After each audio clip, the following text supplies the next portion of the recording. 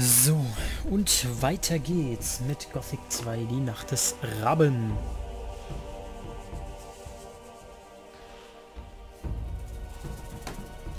So, lieber Benga, was hast du denn hast, hast du uns denn noch so zu erzählen? Was hältst du von Ona? Er ist ein gieriger Sack, der uns noch alle an den Galgen bringen wird. Irgendwann kommen die Paladine aus der Stadt und lassen uns kleine Bauern für das, was er hier abzieht, bluten. Aber ich habe keine Wahl. Die Milizen kommen nur hierher, um zu kassieren und nicht, um den Hof zu verteidigen. Wenn ich mich loyal zur Stadt verhalten würde, könnte ich selber zusehen, wie ich klarkomme. Ona schickt zumindest ab und zu mal Söldner, um nach dem Rechten zu sehen. Was hast du gegen die Königstruppen? Liegt doch auf der Hand. Es hat überhaupt keine Verbesserung gebracht, dass die Paladine jetzt in der Stadt sind. Äh, ganz im Gegenteil. Jetzt kommen diese verfluchten Milizen nur noch häufiger auf unser Land und rauben, was das Zeug hält. Und die Paladine machen nichts dagegen. Die einzigen Paladine, die ich je gesehen habe, sind die beiden Wachen vor dem Pass. Die würden sich keinen Meter da wegbewegen, auch wenn die Miliz uns alle abschlachten würde. Hm. Ist hier in letzter Zeit etwas Merkwürdiges passiert? Hier passieren eine Menge merkwürdiger Dinge. Aber das Seltsamste ist wohl Pardos rätselhaftes Verschwinden. Er ist einer meiner Feldarbeiter und nicht der Typ, der einfach über Nacht alles hinwirft und sich aus dem Staub macht, verstehst du? Was genau ist an seinem Verschwinden so merkwürdig? Pardos ist ein sehr ängstlicher Kerl und hat sich niemals weiter als bis zu den Grenzen meiner Felder vom Hof entfernt. Er hat schon die Beine in die Hand genommen, wenn ihm eine Fleischschwanze über den Weg gekrabbelt kam. Die Biester sind zwar nicht besonders schön, aber gefährlich sind sie nun wirklich nicht. Es soll ja Leute geben, die sie essen. Ach, widerlich. Man gewöhnt sich dran.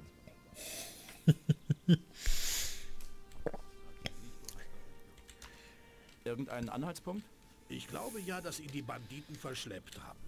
Die streunen schon seit Tagen hier in der Gegend herum. Einmal habe ich gesehen, wie sie einen Bürger der Stadt in ihr Lager gezerrt haben. Sah so aus, als ob sie ihn versklaven wollten. Wo ist dieses Lager der Banditen? Am Ende meiner Felder führt eine Treppe hinunter in einen kleinen Talkessel. Dort haben sie sich niedergelassen. Ich würde dort ja gerne nach Pardos suchen, aber ich werde mich ganz sicher nicht mit den Kerlen anlegen. An deiner Stelle würde ich auch einen großen Bogen darum machen. Die kennen keinen Spaß. Vielleicht hatte er einfach die Schnauze voll. Die Feldarbeit war sein Ein und Alles. Schwer vorzustellen, dass er jetzt bei einem anderen Bauern arbeitet. Bei mir konnte er machen, was er wollte. So, dann ist ihm sein Pados also versch äh, ver verschwunden. Hatten die Banditen, die hier vorbeikamen, Waffen bei sich? Was ist denn das für eine blöde Frage? Was wären das für Banditen, wenn sie keine Waffen hätten? Ich meine richtig viel Waffen. Eine Waffenlieferung. Stimmt. Jetzt, wo du es sagst, sie hatten Massen davon bei sich. Einige in Fässern, einige in Taschen oder auf dem Karren, den sie dabei hatten. Interessant. Der Pass? Ja, äh, der Pass ins alte Minental bei den Wasserfällen am anderen Ende des Weidenplateaus. Frag mal Malak danach. Er ist die letzte Woche ein paar Mal da gewesen. Malak. Den Namen müssen wir uns merken. Hast du was dagegen, wenn ich hier reingehe? Nee? In der Stadt sind die alle so, äh, so böse. Und hier ist es richtig entspannt.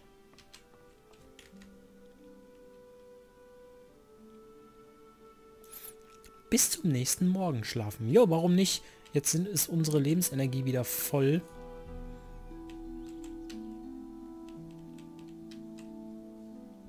Ich werde natürlich versuchen mitzunehmen, was geht.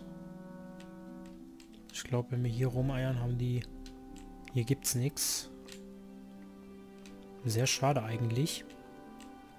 Naja, kein Problem. Ähm, jo. Wir werden uns mit den Banditen anlegen, aber naja, was heißt anlegen? Ich weiß es noch nicht. Bandite mit einer Waffenlieferung. Das kommt uns so vertraut vor. Da hatten wir doch die eine oder andere Aufgabe. Aber ich möchte... Hier hinten, da hinten sieht man schon, ist der Pass vom Tal. Stellen wir mal die Sichtweite hier ein bisschen weiter ein. In der Stadt kann man das ein bisschen runterschrauben. Das Spiel verträgt nämlich das eine oder andere nicht so. Hier ist noch einiges am Leben. Ja, ihr seht, warum ich ganz gerne... Für die Scavenger möchte ich eigentlich ungerne sowas wie Magiezeug verschwenden.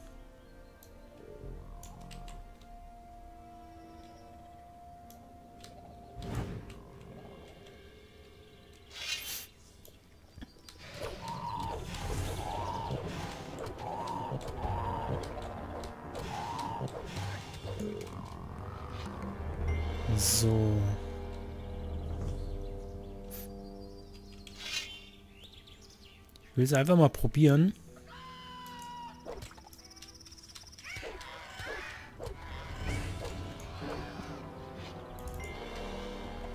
Auch keine Ressourcen oder so. Oder sehr ungern.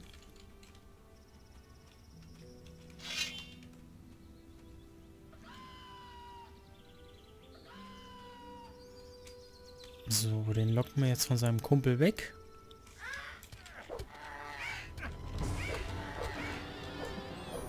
Das ging relativ einfach. Aber ich glaube, den Lurker, den... Entweder werde ich mich für den Lurker heilen. Naja, ein paar Kräuter kann ich schon nehmen.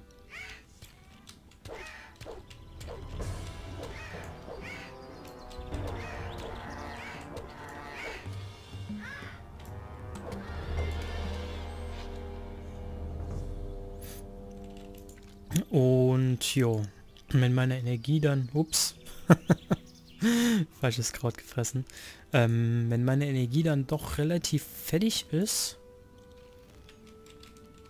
werde ich mich wieder eine Runde hinlegen bei den Bauern. Die sind ja relativ freundlich. Na komm her.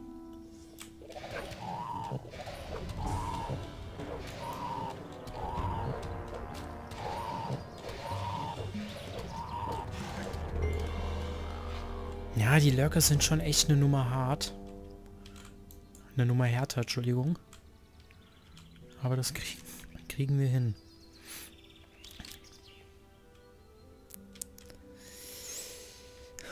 Äh, da vorne ist dieser Malak, von dem der Benga gesprochen hat. Der gehört zu seinem Hof. Der gehört aber noch woanders dahin. Das werden wir gleich erfahren.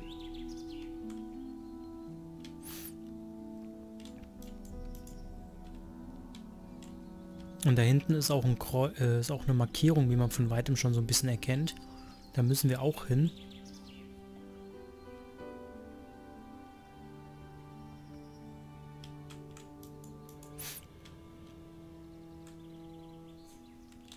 Ah, nee, Garn, stimmt.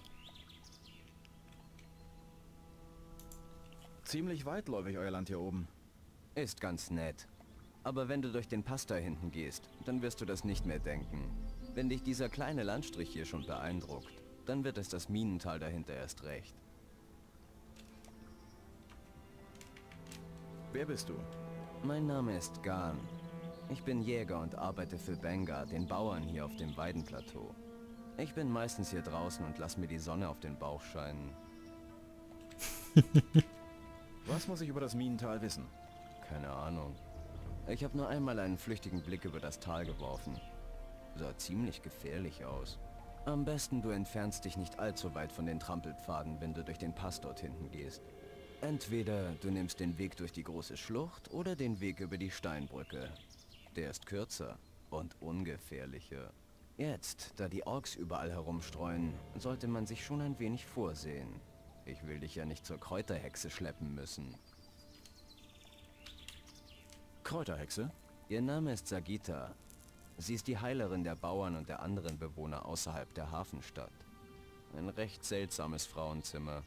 Niemand geht wirklich gerne zu ihr und alle zerreißen sich gerne das Maul über sie. Aber wenn du krank bist, findest du keine bessere Hilfe als Sagita und ihre Heilkräuterküche. Du findest sie in dem Waldstreifen hinter Sekops Hof. Interessant. Was macht die Jagd? Das letzte Tier, das ich erlegen konnte, war eine große Ratte. Nicht sehr ermutigend und schlecht fürs Geschäft. Seit ein paar Tagen streift so ein schnaubendes Tier in der Gegend herum. Es tötet nicht nur alles, was sich bewegt. Es stört mich auch bei meiner Arbeit. Wie sieht dieses gefährliche Tier aus? Ich weiß es nicht genau. Ich habe es bisher nur hauptsächlich schnauben und kratzen hören. Aber ich habe gesehen, was es anrichten kann.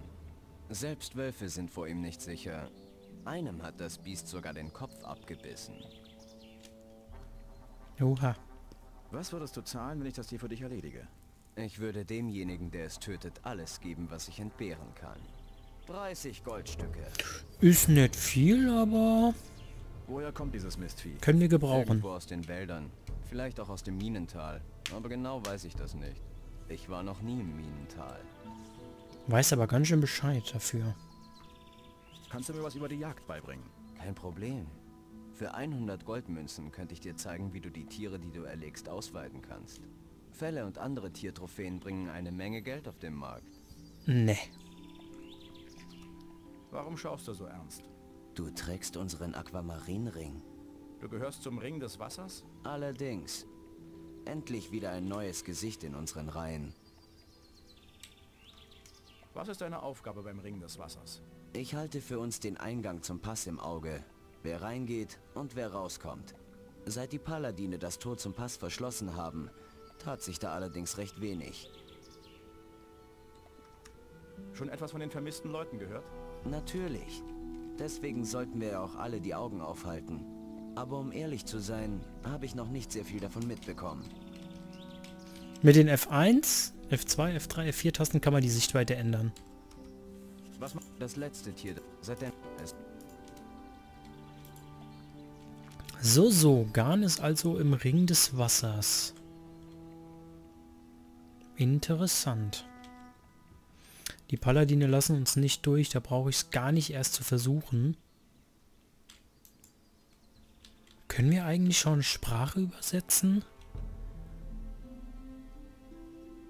Steht das hier irgendwo? Schleichen, Taschentücher holen, schmieden, Tiere ausweiten gelernt. Ich will mal was gucken. Was habe ich denn hier? Armbrustschützen 1. Ein Geschick. Mhm. Lebensenergie 2. Einhand und Armbrust. Würde ich gerne noch mal ein bisschen aufheben. Aber den Rest kann ich ja schon benutzen. Das ist kein Problem. So, bevor ich jetzt hier weitermache, würde ich aber gerne noch speichern, weil es langsam gefährlich wird. Vor allem das schnaubende Tier.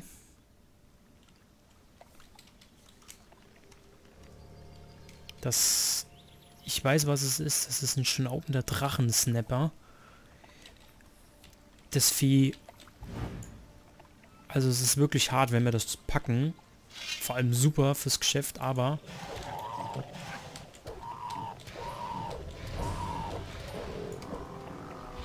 Gut, dass ich gespeichert habe.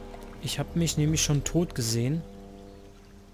Aber wir haben es hingekriegt. Das ist gut. Da ist noch eine Innos-Statue. Da können wir später beten. Aber vorher möchte ich gerne noch beim Seekop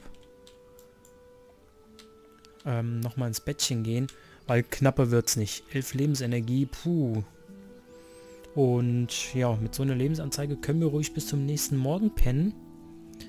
Es gibt ja tagsüber keinen Respawn, das ist ja kapitelbedingt. Finde ich persönlich eigentlich ganz geil. Also gefällt, gefiel mir an dem Spiel sehr. Ähm, weil was tot ist, war tot. Und ja. Wir müssen hier auf jeden Fall noch mehr machen.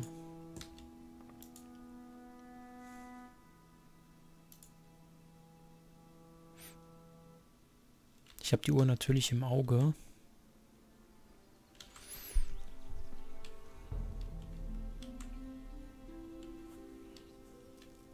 Von daher... Ähm, das Weidenplateau geht eigentlich nur hier diese Klippen entlang. Also da hinten, wo die Bäume sind, ist auch so ein bisschen Schluss. Deswegen gehe ich zurück und mache dann so meine Runde, damit ich in keine überraschende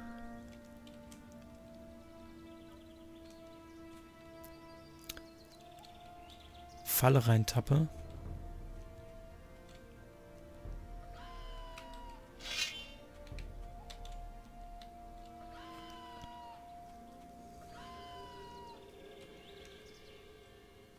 Na ja, komm her.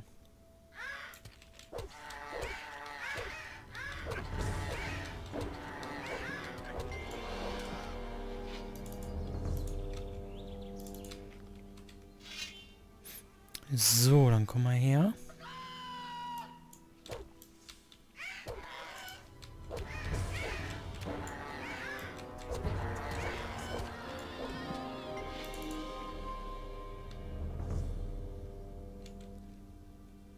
Was machst du da?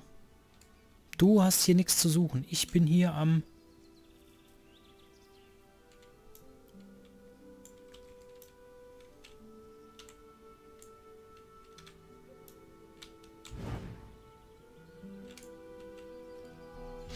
will hier in Ruhe meine Lurker und alles klatschen.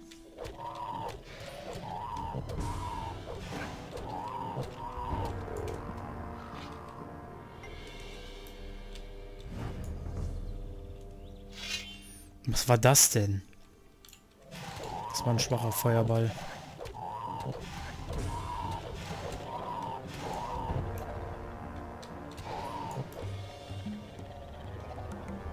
Na komm her.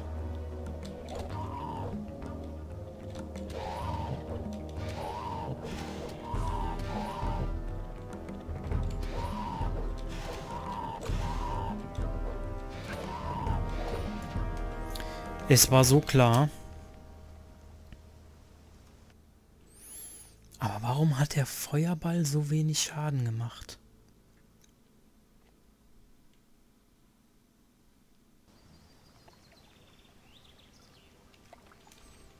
Ach, hier haben wir gespeichert. Das ist natürlich nicht so geil.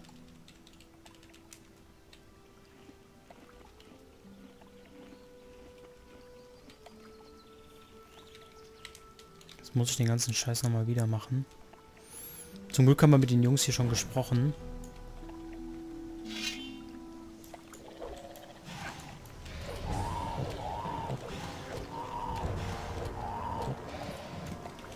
Ah. Irgendwie will es gerade nicht, aber das macht nichts. Try and Error ist im ersten Kapitel eigentlich genau das, wo man halt durch muss. Wie viel Feuerbälle? Ja, drei habe ich noch, kein Wunder.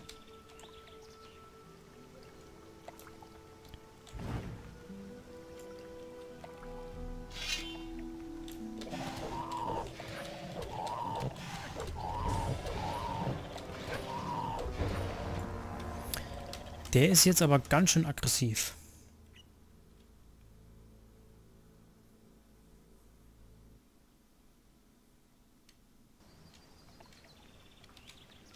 Ich glaube, ich sollte mal ein bisschen mehr...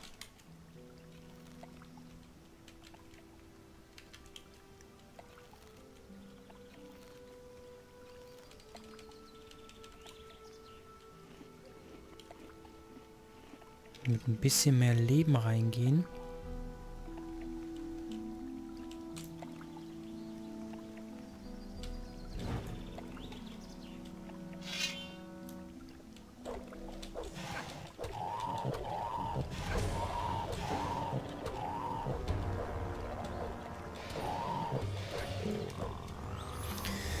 So, ich versuche jetzt die Dingsbums hier noch zu klatschen. Die beiden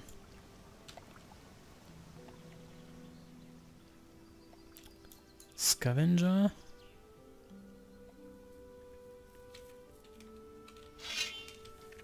Aber wirklich jetzt speichern, bevor ich jetzt wieder verrecke. Dann machen wir wenigstens etwas kleinen Fortschritt.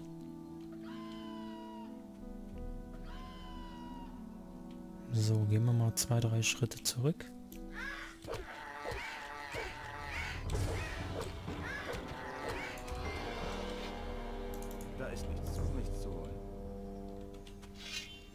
Dann komm mal her.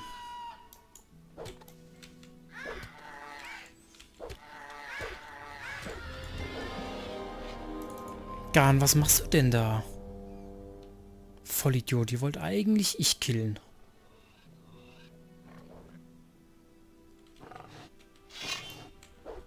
Ein Mistvieh weniger. Okay. Das Vieh ist da unten. Lass es. Hier beten wir später, aber wenn wir Full Life sind. An jedem Schrein sollte man pro Tag mindestens mit 100 Goldmünzen beten. Das macht uns zwar arm, aber dafür steigen sich, äh, steigern unsere Werte.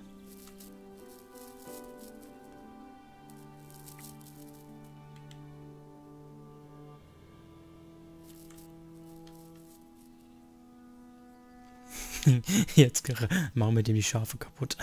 Ich glaube, dann kriegen wir böse aufs Maul. Wie, du stehst direkt vor mir, du Lappen.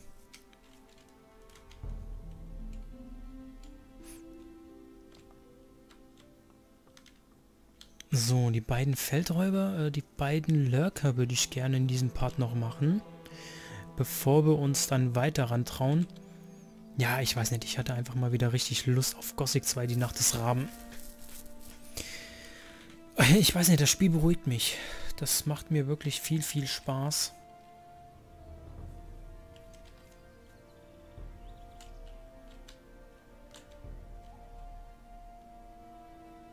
Der bleibt da stehen, das kann mir gut, das gefällt mir.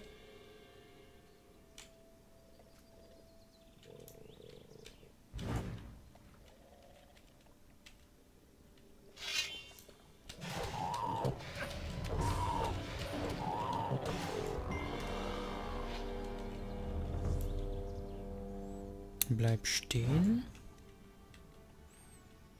Ja, der hat jetzt mehr Damage gefressen. Keine Ahnung, warum der eben so viel Damage, äh, so wenig Damage genommen hat von dem Feuerball. Ja, jetzt sieht das schon wieder ganz anders aus, hä, du Lümmel. Gut. Dann wollen wir hier mal lostigern.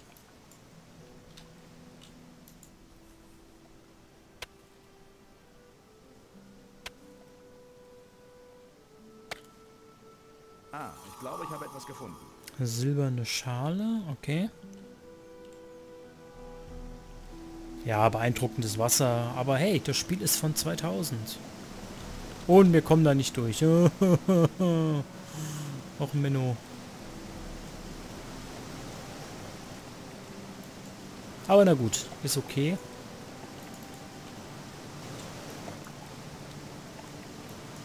Ich freue mich ja so ein bisschen aufs Minental, muss ich gestehen.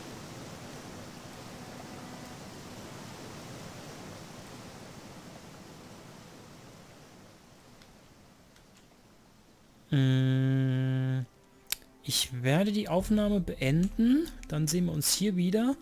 In der Zwischenzeit gehe ich zu Benga auf den Hof. Ach nee, komm, das mache ich jetzt noch. Geh nochmal Hof, äh, geh auf den Hof, geh nochmal pennen. Dass unsere HP wieder voll sind und dann erkunden wir den Wald mal weiter. Ich muss mir echt was überlegen für dieses schnaubende Tier. Das ist natürlich 30 Gold. Ich will dafür es sind massiv viele XP, die wir bekommen, wenn wir das klatschen. Die Frage ist nur, was bin ich bereit dafür zu investieren?